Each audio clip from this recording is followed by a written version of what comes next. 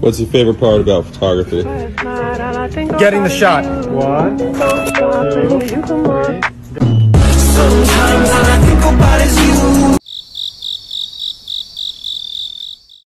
three.